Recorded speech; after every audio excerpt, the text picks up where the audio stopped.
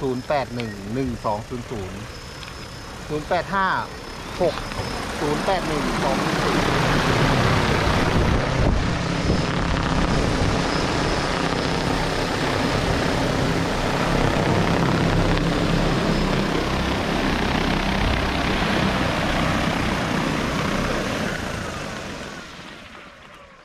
หัวหัวลำตรงนู้นน่ะนะ ตรง